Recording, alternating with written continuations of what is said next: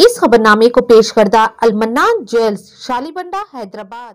आप तमाम नाजरीन का एम के न्यूज़ में खैर मकदम है। आइए नज़र डालते हैं आज की अहम खबर पर। ज़िले संगारेड्डी के हल्के असम्बली जहीराबाद में आज आसरा पेंशन के कार्ड की तकसीम अमल में लाई गई। तफसलात के मुताबिक एम एल ए के मानिक राव, जिन्होंने इमदादी पेंशन तकसीम की, नए मंजूर शुदा आसरा पेंशन कार्ड आज जहीराबाद म्यूनसिपाली के रंजोल गाँव के इस्तेफादा कुनिंदगान को जहीराबाद के एम एल ए साज के मानिक राव के ज़रिए तकसीम किए गए। इस मौके पर एमएलए ने कहा कि मुल्क में कहीं और के बरअक्स इज़्ज़त माब सीएम के सी आर रियासत में छियालीस लाख ख़ानदानों को इमदादी पेंशन फराहम कर रहे हैं, जिनमें से बगंगा रंजोल ने 228 मुस्तफ़ीदीन को 3016 से 3000 रुपये दे रहे हैं। सर्टिफिकेट और कार्ड्स ज़ात और पार्टी के बुनियाद पर जारी किए जाते हैं। इन्होंने कहा कि सबका हुक्मरानों के दौर में वो बुज़ुर्गों को सिर्फ़ 200 रुपये पेंशन देते थे, लेकिन के सी आर सीएम बनने के बाद इन्होंने इसे 10 गुना बढ़ाकर दो हज़ार सोलह रुपये कर दिया है। इन्होंने तनकीद की कि बीजेपी की हुकूमत वाली रियासतों में इतनी बड़ी पेंशन नहीं है।